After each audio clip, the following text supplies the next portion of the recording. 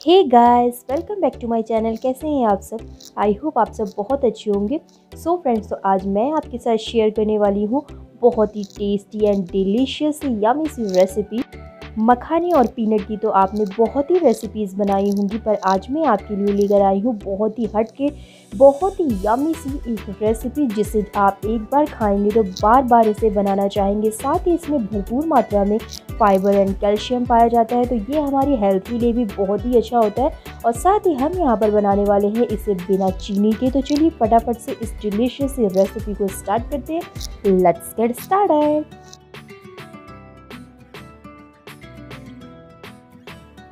so so friends तो आज की रेसिपी बनाने में सबसे पहले मैंने यहाँ पर लिया है वन फोर्थ कप मूंगफली, यानी कि पीनट तो सबसे पहले हमें इसे करना है ड्राई रोस्ट तो हमें इसे अच्छी तरीके से रोस्ट कर लेना है ताकि मूंगफली जो है उसका बिल्कुल कच्चापन दूर हो जाए और इस तरीके से अगर आप मूंगफली भून करके इसे पहले ही रख लेते हैं तो हमें बाद में कम मेहनत करनी पड़ती है।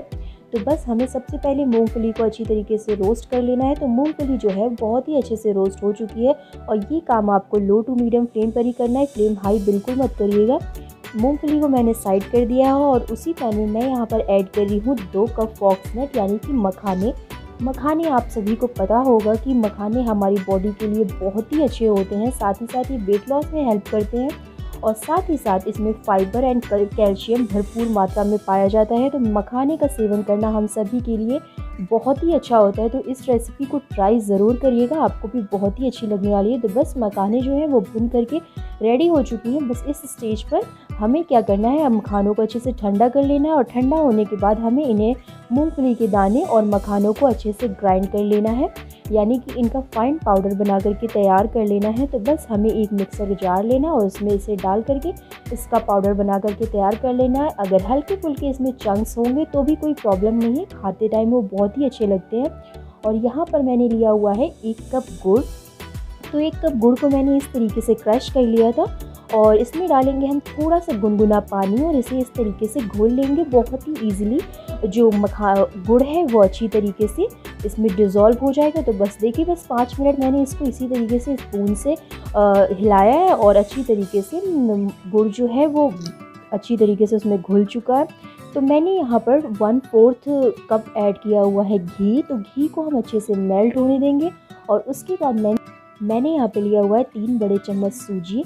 तो बस हमें यहाँ पर तीन बड़े चम्मच सूजी का ही यूज़ करना है इससे ज़्यादा हम सूजी का यूज़ नहीं करेंगे अगर आप इतनी क्वांटिटी बना रहे हैं। तो बस इन्हें हमें अच्छी तरीके से गर्म घी में डाल करके उन्हें हाई फ्लेम पर भूनना है। इससे क्या होगा कि हमारी सूजी जो है वो एकदम दानेदार टेक्सचर की आ जाएगी और साथ ही साथ भून करके अच्छे से फूल भी जाएगी। तो इससे हलवे का टेक्सचर जो है वो बहुत ही अच्छा आता है। तो इस तरीके से सूजी को हाई फ्लेम पर ज़रूर भूनिएगा। ऐसे हलवे का टेक्सचर बहुत ही अच्छा आता है, साथ ही खाने में भी बहुत ही बेहतरीन लगता है।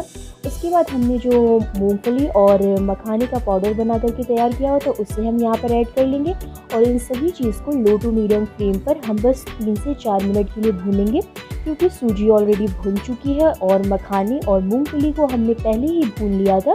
उसके बाद हमने इसका फाइन पाउडर बना करके रेडी किया हुआ है। तो बस ये सभी चीज़ें अभी आपस में मिक्स हो चुकी हैं। तो हमने अब यहाँ पर ऐड कर दिया है एक कप के करीब दूध।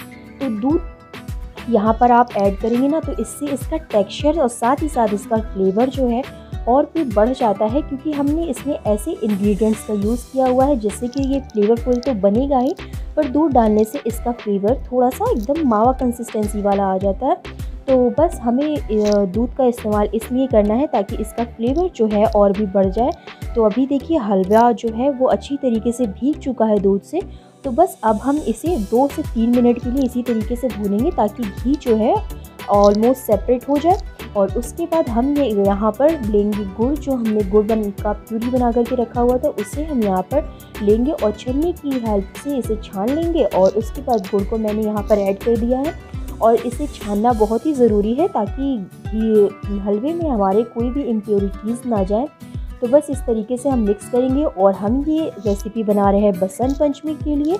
तो हमने इसमें ऐड कर दिया है थोड़ा सा फ़ूड कलर वन पिंच मैंने येलो फ़ूड कलर ऐड कर दिया है। इससे इसका कलर भी बहुत ही बढ़ गया है। और साथ साथ देखने में भी बहुत ही टेम्पटिंग लग रहा है और इस रेसिपी को दोस्तों ज़रूर बनाइएगा।